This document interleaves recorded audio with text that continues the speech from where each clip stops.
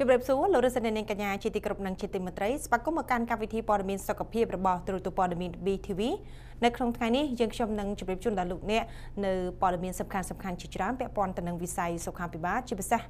ជុំវិញយុទ្ធនាការប្រយុទ្ធប្រឆាំងក៏ដូចជាការទប់ស្កាត់ការឆ្លងរាលដាលនៃវីរុស COVID-19 នៅថ្ងៃទី26ខែមេសាឆ្នាំ2020កន្លងទៅនេះ មន្ទីរពេទ្យព្រះអង្គឌួងគឺបានដាក់ឲ្យដំណើរការទូសម្រាប់មេរោគស្វ័យប្រវត្តិដើម្បីបង្ការបាននៅការឆ្លងមេរោគផ្សេងៗជាពិសេសគឺវីរុស COVID-19 សាធារណជនទូទៅដែលចូលទៅពិនិត្យព្យាបាលនិងសួរសុខទុក្ខអ្នកជំងឺនៅមន្ទីរពេទ្យនេះអាចប្រើប្រាស់ទូសម្រាប់មេរោគស្វ័យប្រវត្តិនេះបានដោយឥតគិតថ្លៃ។ បើតាមលោកសាស្ត្រាចារ្យវិជ្ជបណ្ឌិតលូលីខៀងប្រធានមន្ទីរពេទ្យព្រះអង្គឌួងបានដឹងថាមន្ទីរពេទ្យបានដាក់ឲ្យដំណើរការទូសម្រាប់មេរោគស្វ័យប្រវត្តិចំនួន2គ្រឿងនៅច្រកចូលទ្វារខាងកើតនិងច្រកចូលទ្វារខាងជើងដើម្បីបង្ការបាននៅការឆ្លងមេរោគផ្សេងផ្សេងពិសេសវីរុស COVID-19 ទន្ទឹមនឹងនោះមន្ទីរពេទ្យក៏ដាក់បុគ្គលិកនៅច្រកចូលនិងច្រកចេញរបស់មន្ទីរពេទ្យរងចាំវាស់កម្ដៅជូនប្រជាពលរដ្ឋឲ្យលាងដៃនឹងទឹកអាល់កុលនិងក្នុងករណីអ្នកជំងឺគ្មានម៉ាស់មន្ទីរពេទ្យជូនម៉ាស់ការពារឲ្យពួកគាត់ផងដែរ។ នៅក្នុងឱកាសដាក់ឲ្យដំណើរការទូសម្រាប់មេរោគស្វ័យប្រវត្តិនិងសួរសុខទុក្ខអ្នកជំងឺឯកឧត្តមសាស្ត្រាចារ្យមកបន្ថេងរដ្ឋមន្ត្រីក្រសួងសុខាភិបាលបានបញ្ជាក់ប្រាប់ទូរទស្សន៍ព័ត៌មាន BTV ថាមន្ទីរពេទ្យព្រះអង្គឌួងដាក់ទូសម្រាប់មេរោគស្វ័យប្រវត្តិនេះវាជាគំរូមួយហើយក៏ជាមន្ទីរពេទ្យដំបូងគេដែលបានដាក់ឲ្យដំណើរការទូសម្រាប់មេរោគអំពីការយល់ដឹងអំពីអនាម័យពីព្រោះថាជំងឺ Covid-19 តាក់ទងនឹងការរក្សាអនាម័យការលាងដៃសម្អាតសម្លៀកបំពាក់ផ្ទះសម្បែងឆ្នាំងចាន ម្ហូបអាហារឲ្យស្អាតឆ្អិនល្អ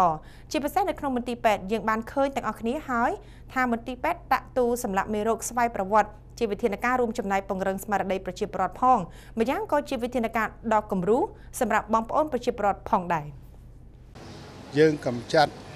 កូវីដបានដោយសារខ្លួនយើង បាទគឺការថែរក្សាអនាម័យហ្នឹងឯងសំខាន់ណាស់បាទហើយពេលដែល មិនត្រូវជួបជុំគ្នាបាទត្រូវរក្សាកម្រិតគ្នាហើយមិនត្រូវប្រមូលផ្ដុំបាទហើយដែលយើងបានធ្វើសារណែនាំជាហោហាយជាបន្តបន្ទាប់តាមពេលវេលាតិចទៀតយើងធ្វើសារណែនាំបន្ថែមទៀតការដែលការជួបជុំរបៀបសាសនាហ្នឹងបាទគឺមិនឲ្យមានការជួបជុំបាទ ហើយយើងបានធ្វើការងារល្អប្រជាពលរដ្ឋយើងបានប្រតិបត្តិបានល្អការចូលឆ្នាំខ្មែរគេណាក្រោយពីហ្នឹងអត់មានណាបាទដូច្នេះខ្ញុំសង្ឃឹមថាបងប្អូននឹងចូលរួមបាទហើយខ្ញុំសូមសម្ដែងនូវអំណរគុណដល់ប្រជាពលរដ្ឋយើងទាំងអស់គ្នាដែលបានចូលរួមយ៉ាងសកម្មស្ដាប់ការណែនាំរបស់ ប្រមុខរាជរដ្ឋាភិបាលក៏ដូចជាសារអប់រំសុខភាពរបស់ក្រសួងសុខាភិបាលដូច្នេះបានជាធ្វើឲ្យប្រជាពលរដ្ឋយើងយល់ដឹងកាន់តែច្រើនហើយយើងអាចបង្ការជំងឺនេះកុំឲ្យរីករាលដាលធំបាទ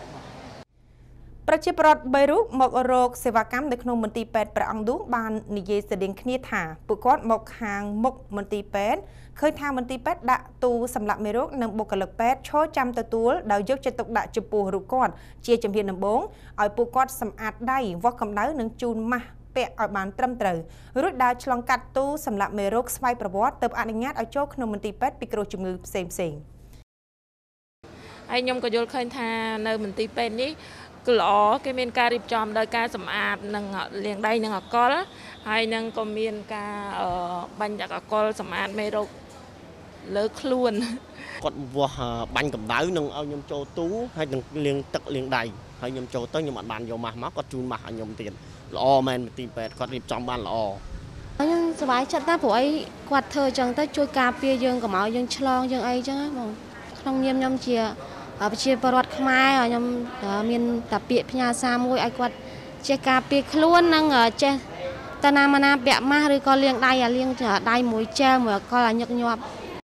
ជាចុងក្រោយឯកឧត្តមរដ្ឋមន្ត្រីបានអំពាវនាវដល់ប្រជាពលរដ្ឋទាំងអស់ត្រូវរួបរวมគ្នាព្រោះថាកាលណាយើងឈឺគ្មានអ្នកណាឈឺទេគឺយើងជាអ្នកឈឺខ្លួនឯង ធ្វើឲ្យមិត្តភ័ក្តិរួមការងារឈឺផង គ្រួសារឈឺផងហើយបើធ្វើការងារនៅក្នុងរោងចក្រសហគ្រាសបង្កឲ្យប៉ះពាល់ដល់រោងចក្រសហគ្រាសនោះទៀតនឹងត្រូវបិទរយៈពេល14ថ្ងៃទៀតប្រសិនបើមានកម្មករណាម្នាក់ឆ្លងមេរោគ COVID-19 ធ្វើឲ្យរោងចក្រនោះអត់អាចដំណើរការបានដូច្នេះវាជាវិធានការមួយដែលបុគ្គលគ្រប់រូបត្រូវតែគោរពទាំងអស់គ្នាដើម្បីទាំងអស់គ្នានិងជីវភាពខ្លួនឯងផងក៏ដូចជាសេដ្ឋកិច្ចគ្រួសារនិងសេដ្ឋកិច្ចរបស់សង្គមជាតិផងដែរ ទស្សនិកជនឯកឧត្តមសាស្ត្រាចារ្យមុំមិនហេងរដ្ឋមន្ត្រីនៃក្រសួងសុខាភិបាលកម្ពុជាបានបញ្ជាក់ថាក្រសួងសុខាភិបាលនៃព្រះរាជាណាចក្រកម្ពុជាគឺមានក្រុមឆ្លើយតបបន្តចំពោះមេរោគផ្សេងៗនិងមេរោគ COVID-19 ចំនួន73,000នាក់ការថ្លែងរបស់ឯកឧត្តមសាស្ត្រាចារ្យមកបន្ហេងយ៉ាងដូចនេះនៅក្នុងពិធី បើកសន្និសីទសារព័ត៌មានស្ដីអំពីបច្ចុប្បន្នភាពជំងឺ Covid-19 នៅក្នុងប្រទេសកម្ពុជាក្នុងគោលបំណងបង្ហាញជូនសាធារណជនក៏ដូចជាប្រជាពលរដ្ឋនៅក្នុងស្ថានភាពនិងបច្ចុប្បន្នភាពនៃជំងឺ Covid-19 ក៏ដូចជារាយការណ៍ពីការរាតត្បាតនិងអន្តរាគមន៍ឆ្លើយតបជំងឺ Covid-19 នៅទីស្តីការក្រសួងនៅព្រឹកថ្ងៃទី27ខែមេសា ឯកឧត្តមរដ្ឋមន្ត្រីបានបន្តទៀតថាក្រុមឆ្លើយតបបន្ទាន់ទាំង2910នាក់របស់ក្រសួងសុខាភិបាលនេះកំពុងធ្វើការងារយ៉ាងសកម្មនៅតាមមូលដ្ឋានជាមួយនឹងប្រជាពលរដ្ឋដែលកំពុងរស់នៅក្នុងសហគមន៍ដូច្នេះជាសកម្មភាពអឺបរិសកម្មបាទសូមជម្រាបជូនបរិសកម្មយើងទៅជួបប្រជាពលរដ្ឋរបស់យើងបាទការងារនេះយើងមិនមែនតែធ្វើតែកូវីដទេអូនឯងគឺធ្វើតាំងតាពី សាតាំងពីជីកាតាំងពីគ្រុន H1N1 បាទក្រុមឆ្លើយតបបន្ទាន់នេះបានធ្វើលំហាត់ច្រើនលើកច្រើនសារដូច្នេះបានយើងឃើញការឆ្លើយតបកូវីដនេះបានលះដោយសារអ្នកទាំងនោះមានភាពប៉ិនប្រសប់ហើយឆ្លើយតបបានលះបាទគេកំពុងធ្វើការងារហ្នឹងបាទមិនចាំដល់មានបញ្ហាបានធ្វើយើងត្រៀមលក្ខណៈជានិច្ចបាទ ទន្ទឹមនឹងនោះលោកជំទាវយុសម្បត្តិរដ្ឋលេខាធិការក្រសួងសុខាភិបាលបានឲ្យដឹងថាតកតងនឹងចំនួនបងប្អូនពលករដែលចូលមកប្រទេសកម្ពុជាវិញគិតត្រឹមល្ងាចថ្ងៃទី26ខែមេសាឆ្នាំ2020មានចំនួនជាង87000នាក់និងនៅតែបន្តចូលមកប្រទេសខ្លួនវិញជារៀងរាល់ថ្ងៃហើយចំនួនដែលបងប្អូនពលករវិលមកស្រុកកំណើតវិញនេះក៏កាន់តែតិចទៅតិចទៅដូច្នេះក្នុងចំនួនទាំងអស់ខាងលើនេះក្រុមការងារយើងបានពិនិត្យចំនួន2ដងនៅច្រកព្រំដែនមន្ត្រីសុខាភិបាលបានពិនិត្យម្ដងនិងពេលបងប្អូនពលករមកដល់ខេត្តវិញពិនិត្យជូនម្ដងទៀតហើយនៅក្នុងចំនួនជាង85000នាក់បានវិលត្រឡប់ដល់លំនៅឋាននិងគ្មានករណីសង្ស័យនោះទេដែលឡែកបងប្អូនពលករចំនួន2198នាក់ផ្សេងទៀតបុគ្គលិកសុខាភិបាលបានរៀបចំដាក់ពួកគាត់នៅក្នុងមណ្ឌលចតល័យស័ករយៈពេល14ថ្ងៃ នៅក្នុងនោះមានប្រជាពលករចំនួនជាង1700នាក់គ្មានរោគសញ្ញាអ្វីដែលនឹងអនុញ្ញាតឲ្យពួកគាត់ត្រឡប់ទៅផ្ទះវិញទន្ទឹមនឹងនោះកាត់ត្រឹមព្រឹកថ្ងៃទី27ខែមេសាក្រសួងសុខាភិបាលក៏មិនទាន់ទទួលបានរបាយការណ៍ពីភូមិឃុំស្រុកខេត្តថាមានករណីសង្ស័យបងប្អូនពលករមានឆ្លងមេរោគ COVID-19 នៅឡើយទេដោយឡែកកម្មករដែលគាត់បានអញ្ជើញទៅចូលឆ្នាំឬក៏ទៅ សម្រាប់នៅផ្ទះសបាយហើយត្រឡប់ចូលមកធ្វើការនៅរោងចក្រវិញនោះគឺថាអឺយើងបានក្រសួងការងារនិងបណ្ដុំបណ្ដាលវិជ្ជាជីវៈក៏ដូចជាសាលារាជធានីភ្នំពេញហើយនិងសហការជាមួយនឹងអឺគ្រូពេទ្យស្ម័គ្រចិត្តសម្ដេចតេជោក៏ដូចជាក្រសួងសុខាភិបាលអឺយើងបានពិនិត្យសរុបទាំងអស់អឺជាតួលេខជាក់ស្ដែងដែលខាងធីតាបានផ្ដល់តួលេខមកឲ្យខាងខ្ញុំថាជាង 5000ជិត6000ហ្នឹងគឺថាយើងបានរកឃើញយើងបានបញ្ជូនសំណាក់ចំនួន4ដងមកវិជាស្ថានជាតិសុខភាពសាធារណៈលើកទី1 18ករណីលើកទី2 70លើកទី3 6លើកទី4 18អញ្ចឹងសរុបទៅសំណាក់យើងយកបាន112ករណីប៉ុន្តែលទ្ធផលមិនមានរោគឃើញរោគសញ្ញាអ្វីទេ ជាចុងក្រោយឯកឧត្តមរដ្ឋមន្ត្រីមកបន្ហែងបានបញ្ជាក់ថាបច្ចុប្បន្នក្រសួងសុខាភិបាលកំពុងធ្វើប្រព័ន្ធតាមដានអ្នកជំងឺនិងអ្នកដែលប៉ះពាល់ផ្ទាល់ជាមួយនឹងអ្នកផ្ទុកមេរោគ COVID-19 នៅក្នុងវិទ្យាស្ថានសុខភាពសាធារណៈក្រោយពីធ្វើប្រព័ន្ធតាមដាននេះរួចក្រសួងនឹងដាក់ឲ្យដំណើរការហើយយើងទាំងអស់គ្នានឹងដឹងថាអ្នកជំងឺ Covid-19 នៅកន្លែងណាហើយអ្នកដែលប៉ះពាល់ជាមួយនឹងអ្នកជំងឺ Covid-19 នៅកន្លែងណា ព្រោះថាក្រសួងធ្លាប់មានបទពិសោធន៍ធ្វើកិច្ចការងារនេះរួចហើយដែលកន្លងមកយើងបានធ្វើជាមួយនឹងអ្នកជំងឺគ្រុនចាញ់និងអ្នកជំងឺអេដដែលយើងទទួលបានព័ត៌មានថាអ្នកកើតជំងឺគ្រុនចាញ់និងជំងឺអេដស្ថិតនៅក្នុងភូមិឃុំស្រុកណាខេត្តណាហើយទទួលបានការព្យាបាលជាសះស្បើយនៅទូទាំងប្រទេសផងដែរហើយប្រព័ន្ធតាមដានអ្នកជំងឺ Covid-19 ដែលក្រសួងកំពុងធ្វើនេះនឹងរៀបចំឲ្យបានត្រឹមត្រូវព្រមទាំងដាក់ឲ្យដំណើរការនាពេលខាងមុខ ទស្សនិកជនក្រុមការងារស្ម័គ្រចិត្តឯកឧត្តមហ៊ុនម៉ាណីចំនួន39នាក់សហការជាមួយនឹងសហភាពសហព័ន្ធយុវជនកម្ពុជាស្រុកនិងក្រុមការងារគណៈបកស្រុកអរ៉ាល់ខេត្តកំពង់ស្ពឺចំនួន30នាក់បន្តចុះអប់រំផ្សព្វផ្សាយពីវិធានការទប់ស្កាត់នៃការឆ្លងរាលដាលនៃវីរុសកូវីដ -19 ថ្មីឬក៏ COVID-19 ដែលជាក្តីបារម្ភរបស់ពិភពលោកជូនទៅដល់ប្រជាពលរដ្ឋតាមខ្នងផ្ទះស្ថិតនៅក្នុងឃុំរស្មីសាមគ្គីនាព្រឹកថ្ងៃទី25ខែមេសាកន្លងទៅថ្មីៗនេះ នៅក្នុងឱកាសចុះអប់រំសប្តាហ៍នេះដឹកនាំដោយឯកឧត្តមលេងភលីរដ្ឋលេខាធិការក្រសួងផែនការប្រធានប្រតិបត្តិក្រុមការងារគ្រូពេទ្យស្ម័គ្រចិត្តឯកឧត្តមហ៊ុនម៉ាណីអនុប្រធានទី1ក្រុមការងារថ្នាក់កណ្ដាលចុះជួលស្រកអរ៉ាល់បានលើកឡើងថាសម្រាប់វេលានេះក្រុមការងារគ្រូពេទ្យស្ម័គ្រចិត្តឯកឧត្តមហ៊ុនម៉ាណីទាំងអស់បានណែនាំដល់ប្រជាពលរដ្ឋឲ្យចេះពីរបៀបលាងដៃនឹងសាប៊ូអាល់កុលបង្រៀនពាក់ម៉ាស់ដើម្បីធ្វើយ៉ាងណាការពារនិងទប់ស្កាត់នៃការឆ្លងមេរោគផ្សេងៗចូលមកក្នុងខ្លួនក្រៅពីនេះក្រុមការងារក៏បានណែនាំឲ្យប្រជាពលរដ្ឋ ចេះរស់នៅស្អាតដោយមានអនាម័យល្អហូបស្អាតផឹកស្អាតដើម្បីធ្វើយ៉ាងណាឲ្យពួកគាត់យល់កាន់តែច្បាស់អំពីការថែទាំសុខភាពជាផុតពីជំងឺ Covid-19 និងជំងឺផ្សេងៗទៀតផងដែរជាពិសេសប្រសិនបើបងប្អូនមានអាការៈសង្ស័យថាឆ្លងជំងឺរលាកសួតដោយវីរុសកូវីដ -19 ប្រភេទថ្មីនេះដែលមានរោគសញ្ញាដូចជាគ្រុនក្តៅលើពី38អង្សាសេនិងមានរោគសញ្ញាមួយយ៉ាងតិចនៅក្នុងចំណោមក្អកហូរសម្បោរឈឺបំពង់កដង្ហើមខ្លីនិងពិបាកដកដង្ហើម និងមានប្រវត្តិធ្វើដំណើរក្រៅប្រទេសដោយបានប៉ះពាល់ជាមួយនឹងអ្នកជំងឺផ្លូវដង្ហើមប៉ះពាល់ដោយជាមួយនឹងសត្វឈឺ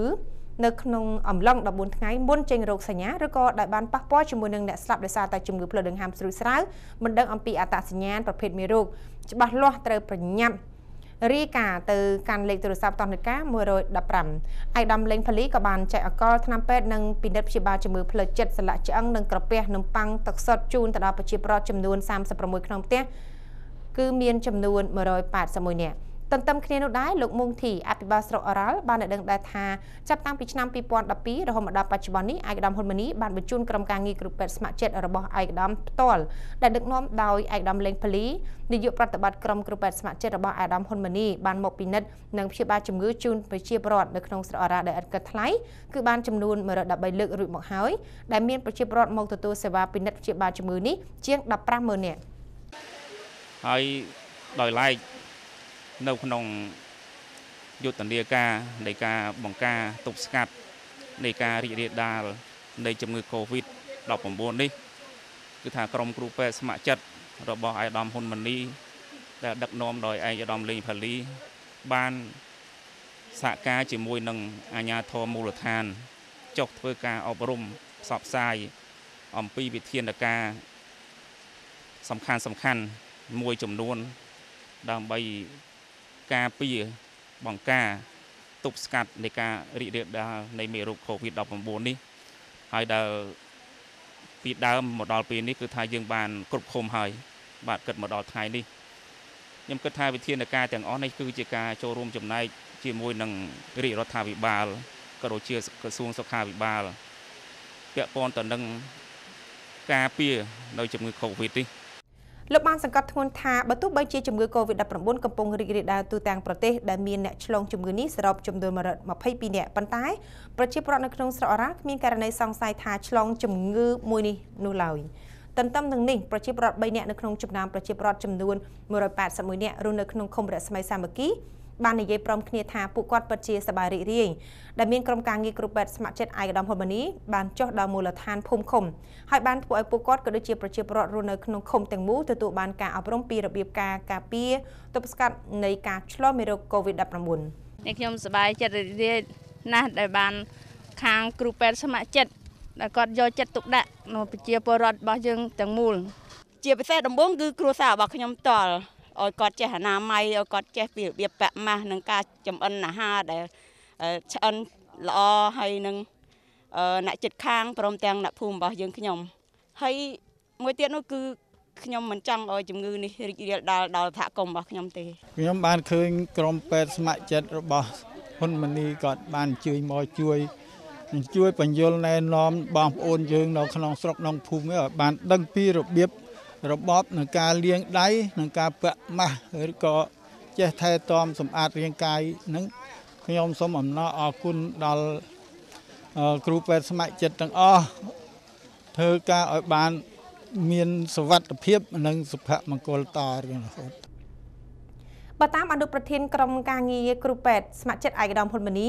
បានឲ្យដឹងដែរថាក្រុមគ្រូពេទ្យស្ម័គ្រចិត្តបានចុះអប់រំប្រជាពលរដ្ឋតាមមូលដ្ឋានសហគមន៍ដើម្បីបញ្ជៀសបាននៃការឆ្លងយើងក៏ត្រូវដឹងដែរថាវិធីការពារមានសារៈសំខាន់ណាស់ព្រោះថាជំងឺ Covid-19 ជាជំងឺមួយដ៏កាចសាហាវអញ្ចឹងយើងត្រូវតែឲ្យគាត់យល់ដឹងថាតើការការពារវិធីណាដែលយើងអាចការពារបានព្រោះអាចការពារការចម្លងតាមរយៈខ្លួនរបស់គាត់ទេ បើយើងមិនពេលគាត់ចេះទេគាត់មិនដឹងថាវិធីការពារយ៉ាងម៉េចនេះឱកាសនោះដែរក្រុមការងារគ្រូពេទ្យស្ម័គ្រចិត្តឯកឧត្តមហ៊ុនម៉ាណីបាននាំយកអំណោយដ៏ថ្លៃថ្លារបស់ឯកឧត្តមហ៊ុនម៉ាណីតំណាងរាជវ័យក្មេងនៃប្រទេសកម្ពុជាចាស់ជូនរដ្ឋបាលឃុំរស្មីសាមគ្គីរដ្ឋបាលស្រុកអរ៉ាល់និងមណ្ឌលសុខភាពអរ៉ាល់សម្រាប់ប្រើប្រាស់រួមមានម៉ាស៊ីនវាស់កម្ដៅចំនួន1គ្រឿងសម្រាប់ប្រើនៅរដ្ឋបាលឃុំរស្មីសាមគ្គីទឹកអកុល3ធុងធំចំណុះ90លីត្រទឹកអកុលនិង10បាញ់ធំចំនួន10ដប ទឹកអាល់កុលនិង10បាញ់តូចចំនួន40ដបមី10កេសសាប៊ូ100ដុំម៉ាស់ចំនួន200និងក្រដាស់រូបភាពផ្សព្វផ្សាយអំពីការថែរក្សាអនាម័យនិងវិធីទប់ស្កាត់ COVID-19 ចំនួន100សន្លឹងនៅក្នុងកិច្ចសហការនឹងជួយគ្នាទៅវិញទៅមកនៅក្នុងដំណាក់កាលនៃការប្រយុទ្ធប្រឆាំងទៅនឹងជំងឺ Covid-19 សហរដ្ឋអាមេរិកគឺបានផ្ដល់នៅជំនួយជូនរាជរដ្ឋាភិបាលសរុបថវិកាជាង3លានដុល្លារអាមេរិក ដើម្បីប្រើប្រាស់នៅក្នុងការការពារនិងទប់ស្កាត់ឆ្លើយតបទៅនឹងការរីករាលដាលនៃវីរុស COVID-19 ពិធីប្រគល់ទទួលអំណោយនេះធ្វើឡើងនៅរុស្ស៊ីថ្ងៃទី27ខែមេសាក្រមវត្តមានអាដាមសាស្ត្រាចារ្យមុំមិនហេរដ្ឋមន្ត្រីក្រសួងសុខាភិបាលរួមជាមួយនឹងអាដាម Patrick Murphy ឯកអគ្គរដ្ឋទូតសហរដ្ឋអាមេរិកប្រចាំនៅកម្ពុជា ជំនួយរបស់រដ្ឋាភិបាលសហរដ្ឋអាមេរិកសរុបជាថវិកាប្រមាណជា3លានដុល្លារនេះត្រូវបានផ្ដល់ជូនតាមរយៈទីភ្នាក់ងារអភិវឌ្ឍអន្តរជាតិសហរដ្ឋអាមេរិកដល់អង្គការជាដៃគូរបស់ USAID សម្រាប់ការប្រយុទ្ធនឹងជំងឺ Covid-19 រួមមានអង្គការសុខភាពពិភពលោកចំនួន7សែនដុល្លារអង្គការ FHI 360ចំនួន1លាន4សែន50,000ដុល្លារអង្គការ UNICEF ចំនួន1លាន 146,800ដុល្លារនិង Save the Children ចំនួន250,000ដុល្លារអាដាម Patrick Murphy បានមានប្រសាសន៍ថាការជួយដល់ប្រទេសកម្ពុជានៅក្នុងការឆ្លើយតបបន្តចំពោះជំងឺ Covid-19 បន្តកិច្ចសហប្រតិបត្តិការនឹងភាពជាដៃគូដ៏យូរអង្វែងរបស់យើងលើផ្នែកសុខាភិបាលជាមួយនឹងប្រទេសកម្ពុជា ការយកឈ្នះបានលើមេរោគ Covid-19 គឺជាបញ្ហាប្រឈមជាសកលមួយ ហើយសហរដ្ឋអាមេរិកកំពុងធ្វើការនៅក្នុងស្រុកនិងនៅបរទេសដើម្បីបញ្ឈប់ការរាលដាលនៃជំងឺ Covid-19 នេះជំនួយរបស់សហរដ្ឋអាមេរិកនឹងជួយប្រព័ន្ធសុខាភិបាលកម្ពុជានៅក្នុងការតាមដានជំងឺព្យាបាលអ្នកឈឺហើយការពារកុំឲ្យមានការឆ្លងជំងឺ Covid-19 បន្ថែមទៀត។ ឯកឧត្តមសាស្ត្រាចារ្យមុំមិនហេងសូមស្វាគមន៍និងថ្លែងអំណរគុណយ៉ាងជ្រាលជ្រៅចំពោះរដ្ឋាភិបាលនិងប្រជាជនអាមេរិកដែលបានផ្ដល់នៅចំនួនដ៏ថ្លៃថ្លាដែលសបញ្ជាក់ពីចំណងសាមគ្គីភាពមិត្តភាពនិងកិច្ចសហប្រតិបត្តិការកម្ពុជាសហរដ្ឋអាមេរិកដើម្បីជំរុញវិធានការការពារទប់ស្កាត់និងការឆ្លើយតបការរាតត្បាតនៃមេរោគ COVID-19 ឲ្យបានកាន់តែឆាប់រហ័សជាពិសេសគឺការរំលឹកខួបទី70ឆ្នាំនៃទំនាក់ទំនងការទូតរវាងប្រទេសទាំងពីរ។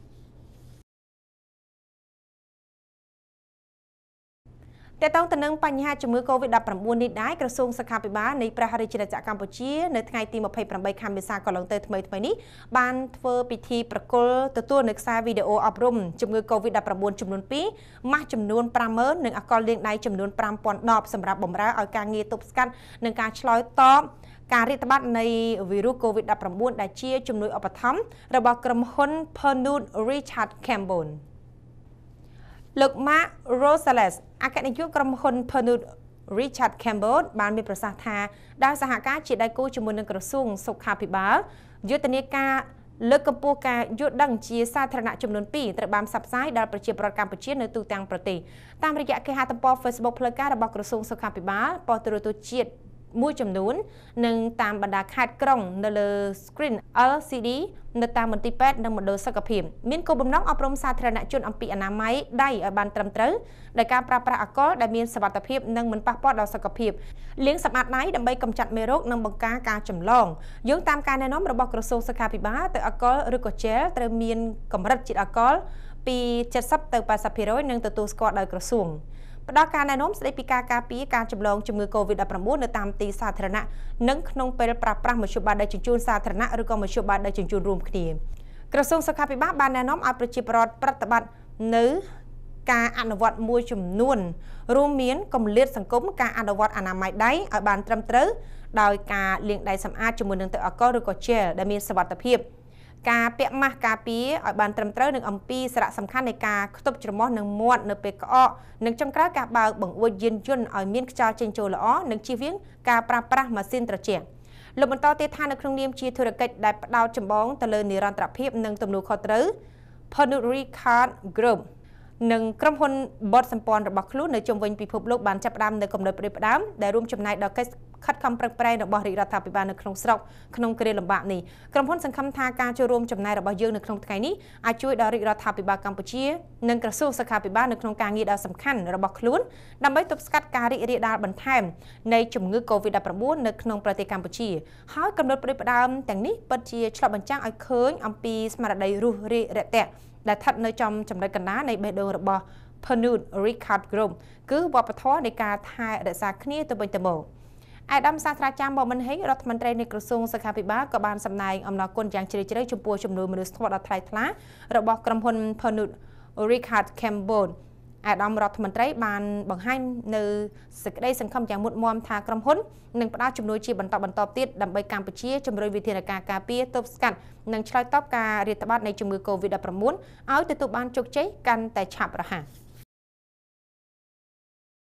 ទស្សនិកជនត្រូវបានទស្សនាព័ត៌មានសំខាន់សំខាន់ជាច្រើននៅក្នុងកម្មវិធីព័ត៌មានសុខភាពនៅក្នុងថ្ងៃនេះសូមអរគុណសម្រាប់ការតាមដានទស្សនារបស់លោកអ្នកជួបគ្នានៅក្នុងឱកាសក្រោយជាបន្តទៀតខណៈនេះនាងខ្ញុំរំនឹងក្រុមការងារសូមអរគុណនិងសូមគោរពលា